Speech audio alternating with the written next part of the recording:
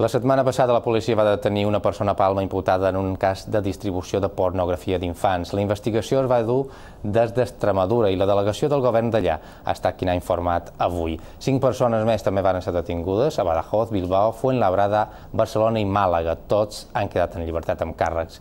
S'havia descobert que intercanviaven arxius per internet amb imatges d'abusos a menors. El Codi Penal preveu penes d'un a cinc anys de presó pels delictes de distribució d'aquest tipus de material i de fins a un any o multa pels que el tinguin sense passar-lo a altres.